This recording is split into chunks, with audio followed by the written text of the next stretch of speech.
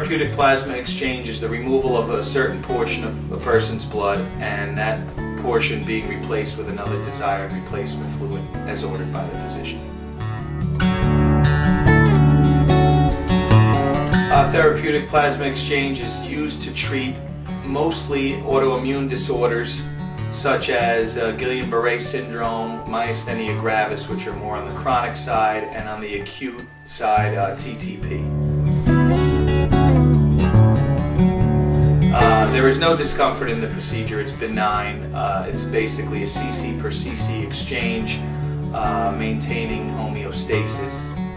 An isovolemic balance is maintained throughout the entire exchange. A typical session lasts anywhere from 60 minutes to about three hours, depending on the size of the exchange and the access available. It makes sense to outsource to renal care because we provide a turnkey package for acute hemodialysis and acute apheresis services. There is no need for the hospital to maintain costly equipment or staff. Outsourcing to renal care allows the hospital to better manage their resources. Uh, you can learn more about us at uh, renalcarerns.com.